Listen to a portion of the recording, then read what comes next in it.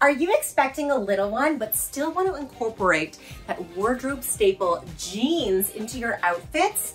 Maternity jeans can be really expensive to purchase in the stores, especially since you'll only be wearing them for a limited amount of time. And they're also really hard to find. There's not a huge market for them. So that's why I'm gonna show you how to upcycle and hack a regular pair of jeans to fit a stretchy belly band. So you can either thrift a pair or find some in your wardrobe. Just make sure that they are stretch denim and are your hip circumference so they will stretch over your hip. So take your tape measure to the thrift store to find the perfect pair, to turn into maternity jeans.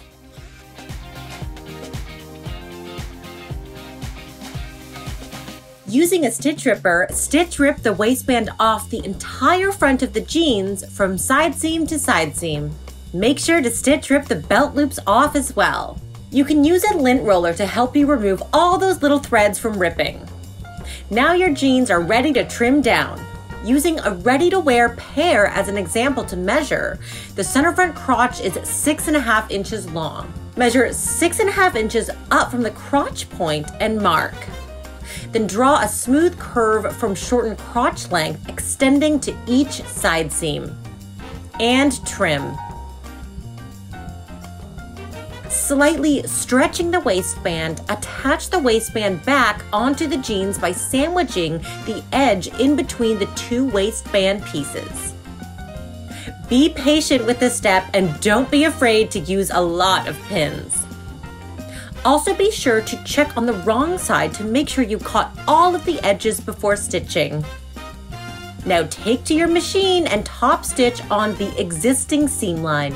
Before you start stitching, make sure you have a size 90 or 100 denim sewing machine needle installed, as well as matching top stitching weight thread to your jeans. I stitched around each of my waistband pieces and did up the button. Now it's time to attach the belly band. You can either lay a ready-to-wear pair over a piece of paper and trace the piece, or you can work from measurements. Mine are 13 inches long at the center front, 8 inches long at the side seam, and 4.5 inches long at the center back. Create a pattern piece connecting those curves and adding seam allowance. Cut out in a stretch fabric. If using a lighter weight jersey, like me, cut two. If you have a more stable spandex knit, just cut one. Make sure to notch your center front. Pin the bands together at the center back and stitch.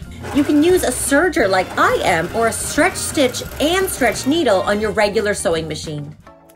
When stitching the top seam of the bands together, match up the center backs right sides together and sew with a piece of elastic in the seam for extra stability.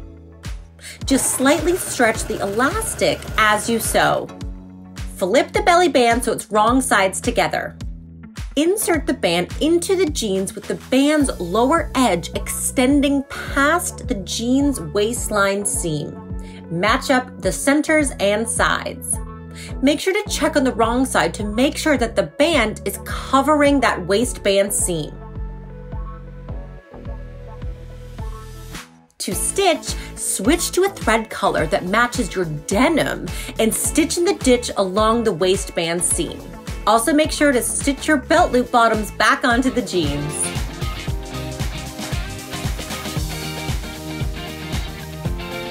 love how these jeans turned out. Now I have the style of jeans with the comfort of a maternity pair of pants with my added belly band at just a fraction of the cost.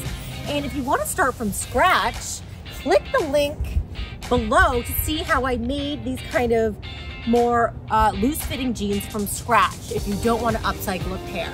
So thank you for watching this episode of Style Revive where we upcycle jeans into paternity pants and like this video, subscribe to our channel, and we'll see you next time. Bye!